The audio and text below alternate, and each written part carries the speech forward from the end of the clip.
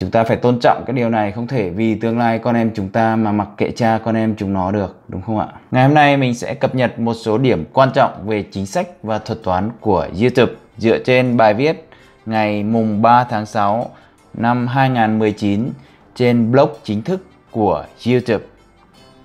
nếu đây là lần đầu tiên các bạn xem kênh, đừng quên nhấn nút đỏ và rung chuông. Đây sẽ là nơi chút bầu tâm sự của YouTubers Việt Nam, đồng thời cũng là nơi cập nhật những thay đổi mới nhất về thuật toán và chính sách của YouTube từ Henry Fan Support của BBTV,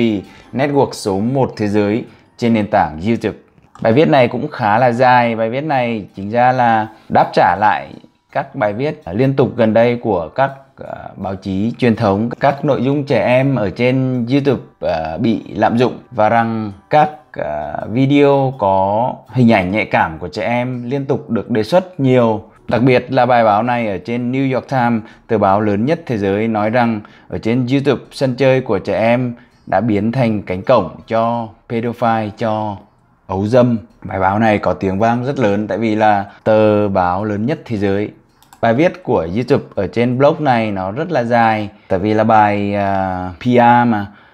uh, để đáp trả lại bài báo kia. Các bạn muốn có thể tham khảo đường link mình để ở dưới video này. Tuy nhiên nội dung chính mà tất cả youtuber chúng ta quan tâm là ba cái gạch đầu dòng trong phần thân bài này. Mình sẽ bỏ qua hết cả mở bài và kết luận và mình chỉ tập trung vào cái phần thân bài này. Còn những cái vấn đề về ngoại giao và về PR mình sẽ bỏ qua. Đây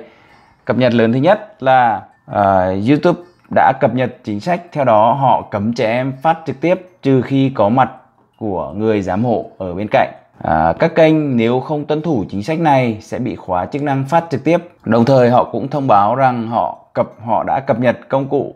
thuật toán máy học để tìm và xóa các nội dung vi phạm nhanh hơn và hiệu quả hơn. Cập nhật lớn thứ hai trong chính sách của YouTube là họ sẽ tiếp tục tắt bình luận các video ở trên các video có chứa trẻ em. Trong thời gian vừa qua, các bạn đã nhắn tin hỏi rất nhiều đến khi nào thì YouTube sẽ mở lại bình luận ở trên các video có chứa trẻ em thì à, người ta trước đây người ta hứa là cuối tháng 4 xong rồi kéo dài đến cuối tháng 5 người ta hứa rằng là sẽ viết xong thuật toán để quản lý phần bình luận này Tuy nhiên, đến thời điểm này, họ khẳng định lại rằng là vẫn chưa thể mở lại bình luận ở trên các video có chứa trẻ em. Và ở trong cái bài viết này họ an ủi, YouTube an ủi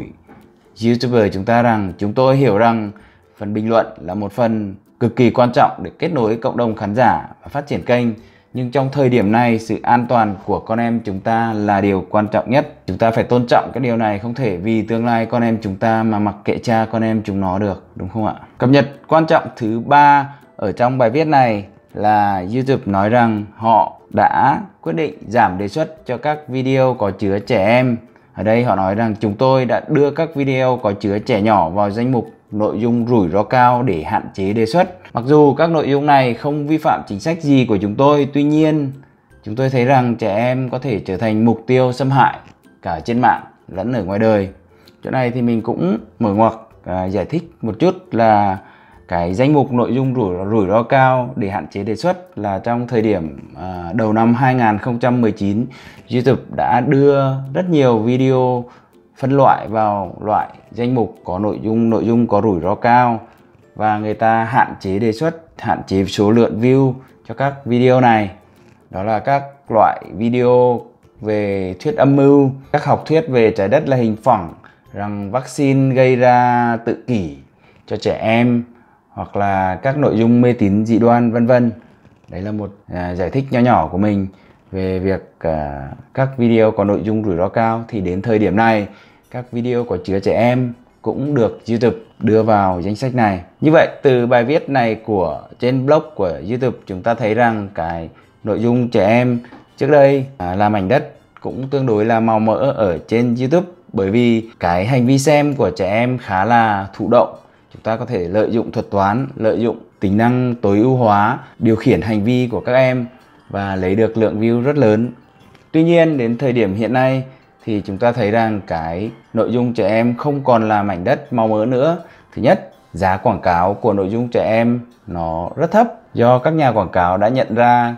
cái mức độ tương tác, cái sự ảnh hưởng đến hành vi mua hàng của các video ở trên nội dung trẻ em nó không được cao như nội dung người lớn. Điều thứ hai là cái cập nhật này của thuật toán và chính sách của YouTube giảm đề xuất, giảm số lượng view cho các video có chứa trẻ em.